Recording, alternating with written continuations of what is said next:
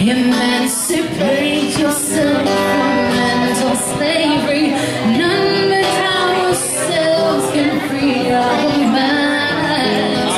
Have no fear for atomic energy. It's nothing can stop the time.